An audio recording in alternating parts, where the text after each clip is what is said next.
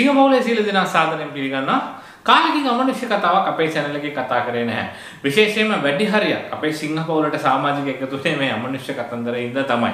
ඉතින් කාලෙකින් කතා කරගන්න බැරුණේ ඒ ඒ කාලවල වලට අදාළ ඒ ඒ තේමාවන් අපිට කතා කරගන්න ඕන හින්දා. ඉතින් අපි අද කල්පනා කරා හොඳ අමනුෂ්‍ය කතාවක් ගේන්න කියලා එකත් වීඩියෝ සාක්ෂිත් සමග.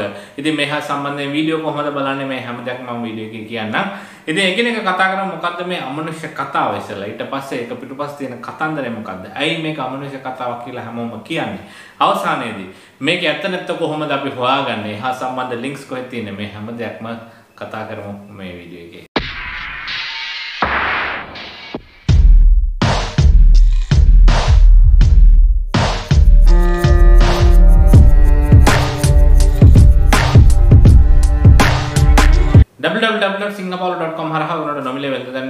පුළුවන්. ඒ වගේම අපේ සිංගප්පූරුවේ සමාජ මාධ්‍යාලයට එකතු වෙන්නත් පුළුවන්. ඉතින් මේ අමනුෂ්‍ය කතාව පටන් ගන්නේ ඔහායෝ වල තියෙන එක්තරා විශාල ගෙයක්. මේ ගෙදර 1900 ඉදි කරපු ගෙයක්. ජෙකොබ් හෙදරින්ටන් කියලා පුද්ගලයෙක් තමයි මේක ඉදි කරන්නේ. මේක අදටත් මේ ගෙදර තියෙනවා. අදටත් මේ ගෙදර පැත්ත පළාතට කවුරුත් යන්නේ නැහැ. මොකද මේක ඇතුලේ හුඟක් අමනුෂ්‍ය ආත්මයන් ඉන්නවා කියලා අදටත් මිනිස්සු විශ්වාස කරනවා. ඉතින් 1900 දී ජෙකොබ් හෙදරින්ටන් මේ ගේ හදනවා. ඉතින් ඔහුගේ රස්සාව තමයි ගල් අඟුරු. ගල් අඟුරු විකුණන එක. ඉතින් ඔහුටම කියලා වෙනම ගල් අඟුරු හදන්න ගල් අඟුරු නිෂ්පාදනය කරන්න ගල් අඟුරු හාරලා ගන්න මේ හැම දෙයකම වගේ වැඩපොළවල් හුඟක් තිබ්බා. ඉතින් ඔහු මේ ගේ හදන්න කලින්ම මේ රස්සාව නැත්තම් මේ ව්‍යාපාරය තමයි හිටියේ. ඉතින් මේ ගේ ළඟම හරියටම කියනවා මේ ගෙදරට පල්ලෙහා තිබිලා තියෙනවා විශාල ගල් අඟුරු හදන නිෂ්පාදනය කරන ප්‍රදේශයක් නැත්තම් වැඩපොළ. 1893 දී කියන්නේ මේ ගේ හදන්න අවුරුදු 7කට විතර කලින් මෙතන විශාල බොම්බ එකක් නැත්තම් විශාල බෝම්බයක් පිපිරිලා මෙතන 46 දෙනෙක් මැරිලා තියෙනවා මේ ගල් අඟුරු නිෂ්පාදනය කරන තැන. ඉතින් මේ ගේ හදන්න අවුරුදු 7කට කලින් ඊට පස්සේ තමයි මේ ගේ හැදුවේ. ඉතින් මේක උඩ තමයි මේ ගේ හදලා තියෙන්නේ. ඒ විතරක් නෙවෙයි. මේ ගේ හදන්න ටික කාලයකට කලින් ඒ ප්‍රදේශයේ විශාල යුද්ධයක් පවා ගිහිලා තියෙනවා. ඒ යුද්ධෙන් මිනිස්සු දහස් ගණන් මැරිලා තියෙනවා. මේ හැම දෙයක්ම ජේකොබ් හැදරින්ටත් දන්නවා. ඉතින් මේ හැම දෙයක්ම තියාගෙන තමයි ඔහු එතන ගෙයක් හදන්නේ. 1900 ඔහු ගේ හදනවා. 1904 වෙනකොට ඔහු මේ ලෝකෙන් සමුගන්නවා. ඒ කියන්නේ ඔහුට අවුරුදු 4යි මේ ගෙදර ජීවත් වෙන්න පුළුවන් වෙන්නේ. ඔහු මිය ගියාට පස්සේ ඔහුගේ පුතා ඇලෙක්ස් හැදරින්ටන් ඔහු මේ ව්‍යාපාරය මේ ගේ හැම දෙයක්ම බාර ගන්නවා. හැබැයි ඔහුට මගදී විශාල මානසික රෝගයක් එනවා. ඒ තමයි නැති දේවල් මෙතන තියෙනවා කියලා ඔහු විශ්වාස කරන්න පටන් ගත්තා. ඉතින් මේකෙදි ගමේ හැමෝම කිව්වේ ප්‍රදේශයේ හැමෝම කිව්වේ මේ විදිහට 43 දෙනෙක් මේගොල්ලන්ගේ වැඩපොලේ බෝම්බයක් පිපිරලා මැරුණ හින්දා තමයි අන්න ඒකේ සාපය තමයි මොහුට වැදිලා තියෙන්නේ කියලා. එතකම් මේ ගෙදර අමනුෂ්‍යාත්මයන් ඉන්නවද නැද්ද කියන එක කවුරුත් දන්නේ නැහැ. ඉතින් ඔහුගේ මේ හැසිරීම නිසා ව්‍යාපාරය පවා පොඩ පොඩ පොඩ කඩා වැටෙන්න පටන් ගත්තා. ඒ කියන්නේ ඔහු හරියට ව්‍යාපාරය බලන් ගන්නේ නැහැ. ඒ වගේම ඔහුට විශාල මානසික පීඩනයක් තිබිලා තියෙනවා. මොකටද කියලා දන්නේ නැහැ. ඒ වගේම ඉඳලා හිටලා ඔහු තනියම කාත් එක්ක හරි කතා කරනවා. එහෙම නැත්නම් කාට හරි කියනවා මෙතන මොන හරි එකක් තියෙනවා හරිනම් බලන්න කියලා. අන්න ඒ වගේ එක එක දේවල් කියනවා කාලයත් එක්ක ඔහු ජීවිතයෙන් සමුගන්නවා. ඊට පස්සේ ඔහුගේ දුව, ඒ කියන්නේ මේ ගේ හදපු කෙනාගේ මිනිබිරි. ඇයගේ නම ලයිඩ් හැදරින්ටන්. ඇය මේ ව්‍යාපාරය, මේ ගේ හැම දෙයක්ම වගේ බාර ගන්නවා. ඇය කාලයක් සාර්ථකව මේ දේ කරගෙන නැත්නම් මේ ව්‍යාපාරය මේ ගේ කරගෙන යනවා. හැබැයි ඇය ඉන්නකොට තමයි මේ ගෙදර අමනුෂ්‍යාත්මයන් ඉන්නවා කියන එක ඇය එළියට කියන්න පටන් ගත්තේ. ඇයගේ යාළුවන්ට එහෙම කියන්න පටන් ගත්තා මං ළඟ රැයට කවුරු හරි නිදා ගන්නවා වගේ මට මොන හරි ෆීලිං එකක් තියෙනවා කියලා. මාව පහු කරගෙන යන විදිහට මට මොන හරි තේරෙනවා මේ හැම දෙයක් වගේ ඇය කියන්න පටන් ගත්තා. ඊට පස්සේ මේ දේ කියලා ටික කාලයක් ගියේ නෑ ඊටමත් කුඩා වයසේ. ඇය තමාගේ දවල් ආහාරය කනකොට එකපාර හෘදයාබාධයක් ඇවිල්ලා ඇයත් මේ ලෝකයෙන් සමුගන්නවා. ඊට පස්සේ ඇයගේ සහෝදරයා ඔහු මේ ව්‍යාපාරය සහ මේ ගෙදර මේ හැම දෙයක් වගේ බාර අරගෙන ඔහු ඔහුත් මුලදී සාර්ථකව කරගෙන යනවා. හැබැයි ඒ කාලය වෙනකොට මේ ගල් අඟුරු වලට ආදේශක හුඟක් මාකට් එකට ඇවිල්ලා ඉවරයි. ඊට පස්සේ මේ ව්‍යාපාරය 100%ක්ම බංකොලොත් වෙනවා. හැබැයි ඔහු ඒ ගෙදර ටික කාලයක් ජීවත් වෙනවා. ඊට පස්සේ මේ හැමෝටම ස්වභාවික මරණ තමයි.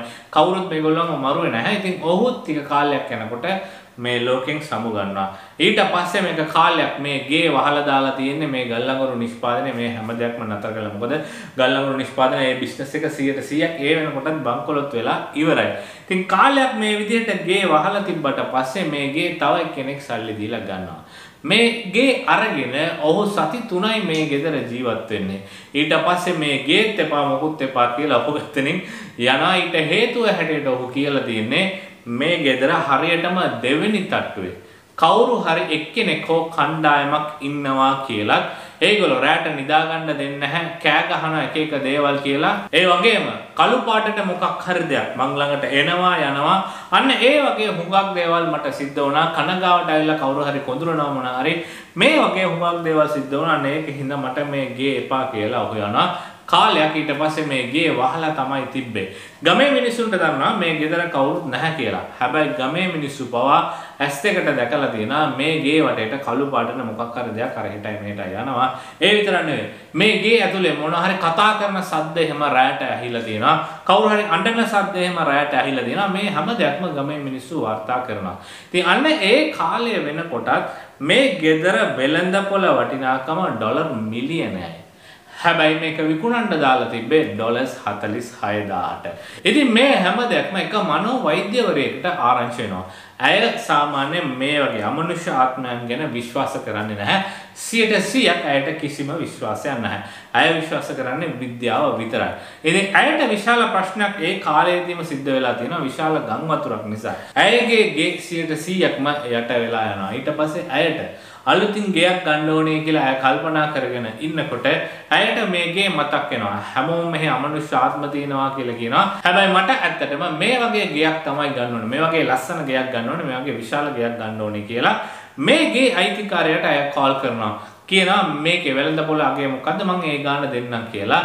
එතකොට ඔහු කියන ගාන තමයි ඩොලර්ස් 46000. ඒ කියන්නේ මේකේ වෙළඳ පොළ අගේ ඩොලර් මිලියනයට වඩා වැඩි. හැබැයි ඩොලර්ස් 46000කට ඔහු මේ ගේ ඇයට දෙන්නම් කියලා කියනවා. ඊට පස්සේ වහාම ඇය සල්ලි දීලා මේ ගේ ගන්නවා. මේ ගේ අරගෙන ඇයත් සති 3ක් විතර කාලයක් තමයි හිටියේ.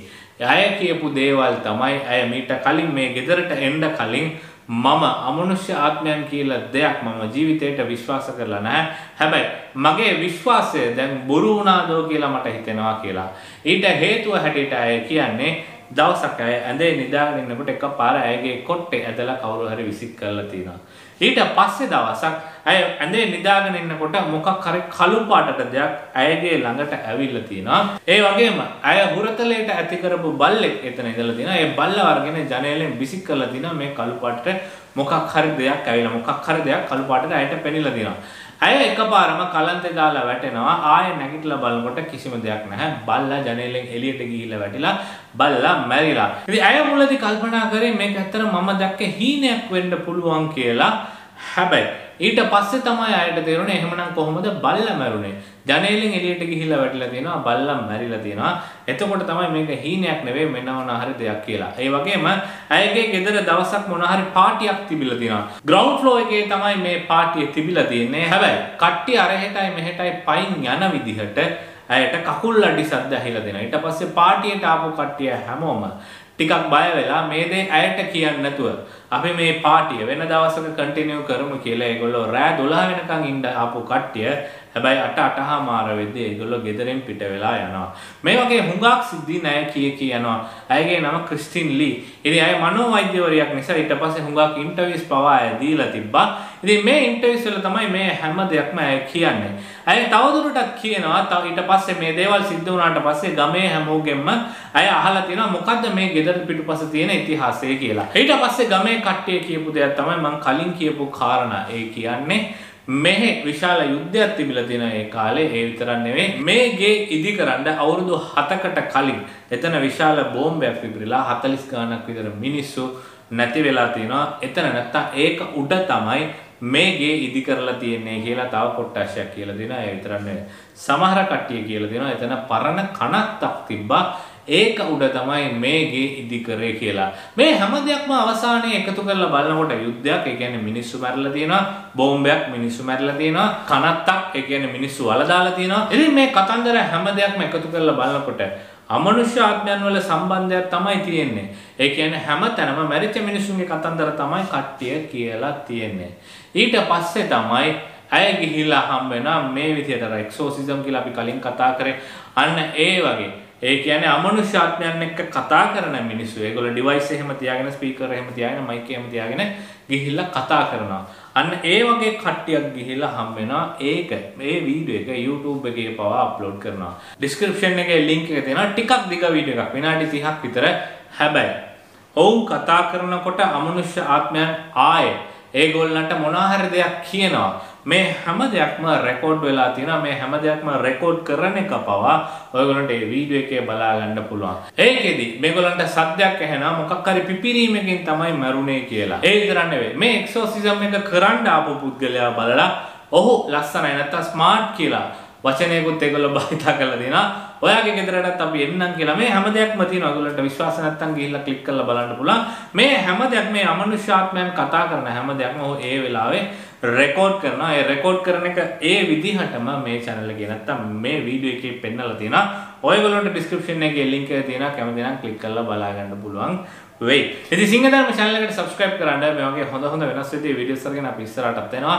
ඒකින් දෙහා පැත්තේ තියෙන bell icon එක ක්ලික් කරන්න www.singapore.com හරහා ඔයගොල්ලන්ට නොමිලේ වෙළඳ දැන් දාගන්නත් පුළුවන්. ඒ වගේම අපේ සිංගප්පූලේ සමාජ මාධ්‍ය ජාලයට එකතු වෙන්නත් පුළුවන්. සුබ දවසක්.